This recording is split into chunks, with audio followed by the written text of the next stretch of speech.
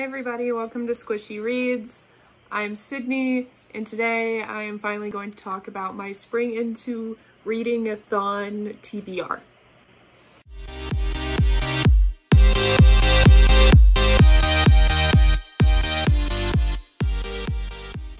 So the Spring Into Reading-a-thon goes from March 19th until March 29th, which as you'll notice by the fact that I'm posting on March 19th, I very slow getting into this, but I'm gonna make it happen. It's a 10-day readathon, which is really awesome. Much better than the normal like seven-day readathons. It is hosted by Melanie from Completely Melanie, Clint from Reads Readers, and Ali from Hardback Hoarder there are one, two, three, four, five, six challenges. Um, the six challenges are spring cleaning, read a book that has been collecting dust on your shelves, uh, two, time for a vacay, read a book with traveler vacation in it, three, love is in the air, read a book with pink or yellow on the cover, four, over the rainbow, read a classic fairy tale or retelling, five, read um, March, Women's March, read a book with a strong female character, and six, Spring Break Bash, read the group book. So, for the first book, I'm actually doing a carryover from my backlist readathon, which, spoiler alert, whenever those vlogs and wrap-ups finally get posted, I didn't finish it. I got very depressed because of the virus that shall not be named. So the reading a book that has been collecting dust on your shelves is going to be Spinning Silver by Naomi Novik.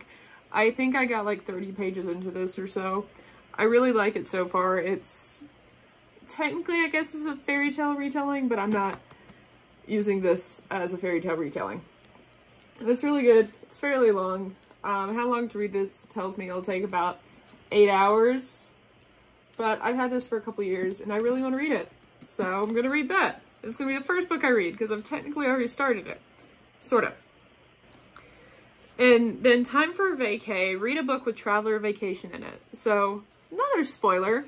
Um, I just got this from my massive book outlet haul that I picked up yesterday. It's kind of cheating because I know it really doesn't involve travel or vacations. But it has travel in the on the cover, in the title. So it counts and it is called I'm Traveling Alone by Samuel Bjork. it's actually a murder mystery. This girl is dead, and I'm Traveling Alone is the tag that's left on her body.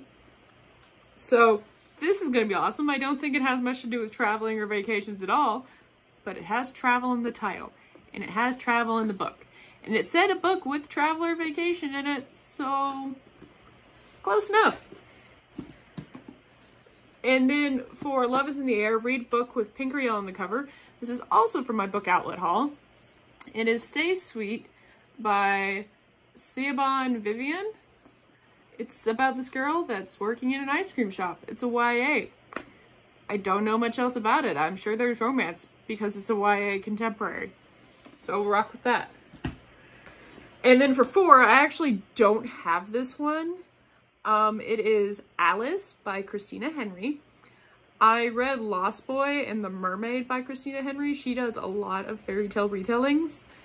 And The Lost Boy was pretty good. I think I gave it four stars. The Mermaid, I gave either three or four stars. I did enjoy it. And so I really want to read Christina Henry's take on Alice in Wonderland and her version of an Alice in Wonderland retelling. And then for five, oh wait, no, five, Women's March, read a book with a strong female character. I am taking one from my March TBR, which I didn't know I was going to do this, but I'm going to do it now. I'm going to read Jane Steele by Lyndsay Faye. I don't actually know if this is about a strong female character in the feminism sense, but I know that this is Jane Eyre meets serial killers. On the cover it actually says, Jane Eyre gets a dose of Dexter.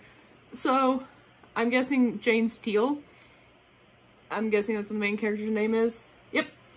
Um, she is a serial killer and might not be the best role model, but a serial killer is a strong female character. I mean, you have to be strong to be a serial killer, I guess. It, it works in my head. Strong female character. not necessarily role model, but strong in some way. And then the last book, which is the Spring Break Bash, read the group book, which is, read the group book. And the group book is If I'm Being Honest by Emily Wibberley and Austin Siegemund-Broka. So it's a romance. It's, I don't know if it's a YA. I think it might be a YA. I think it's a YA contemporary romance. I don't have the book. I actually put the physical book on hold through my library before this wholeness happened and library shut down. So I put a hold on the ebook, but there's like a two to three week wait. So if I can't get to it via ebook, I just downloaded Scribd and Scribd has an audiobook version for free. If you didn't know, Scribd right now is doing no credit cards, 30 days for free because of the virus. So everybody can like get awesome books without a wait. And also, I don't know if other libraries are doing it, but my local library has just upped our hoopla from 10 books a month to 20. And I've heard of some libraries just allowing unlimited rentals of ebooks with no licensing. I don't know if that's everybody, and I also don't think it's through Libby, but worth checking out. Anyway, these are going to be my four physicals for the Spring Into Reading-a-thon, and then I will have the two digital, one of which might end up being a um, audiobook. But yeah, this is what I got. I might or might not start on it today. I don't think I will. Animal Crossing comes out in two hours and 48 minutes.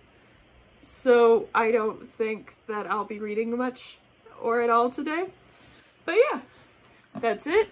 Um, please leave a comment down below what if you're participating into the Spring Into Reading-a-thon. I'll leave all of the host links down below as well as the individual challenges in the descriptions.